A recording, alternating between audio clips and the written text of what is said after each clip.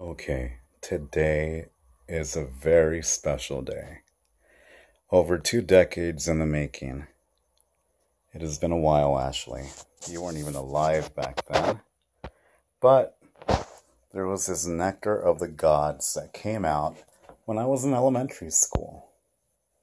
And it went by the name of Ecto Cooler, made by Hi-C.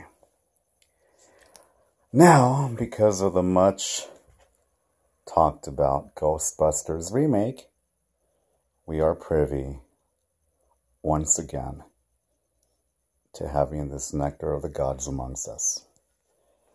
So, we're gonna do the unboxing. Dum dum da dum.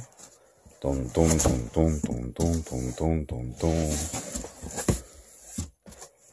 Oh my goodness.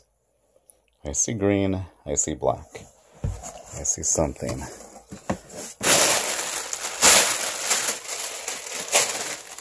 Yeah, I ordered some other things from Amazon Pantry. Take advantage of the pantry box, but here it is in all of its glory. Hi-C Ecto Cooler, revived from the grave.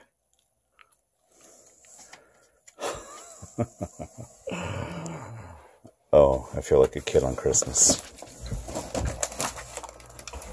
Let's see what we have here, Ashley.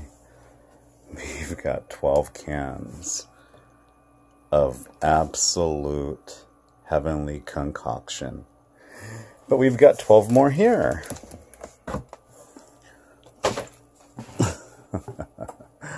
wow. And we've got 12 more in here. Yep, oh. And to top it all off, making it even four, I think I have enough sugar to last me through the summer. Wow. Maybe not. Maybe about a month, a month and a half, if I can limit myself to one can a day. Ah! Hope I don't become diabetic as a result of overindulgence in Ecto Cooler. But it has been a while. And I think I will end this video now because I need to pop a couple of these cans in the freezer to enjoy in about 30 minutes. Amazon Prime, Hi-C, thank you for making this dream come true.